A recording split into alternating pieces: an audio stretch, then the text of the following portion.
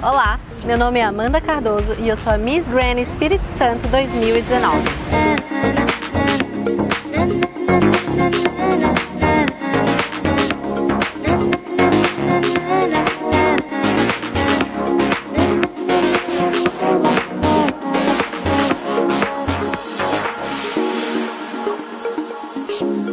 Tenho 22 anos e, além de modelo, atuo como empresária no ramo da moda.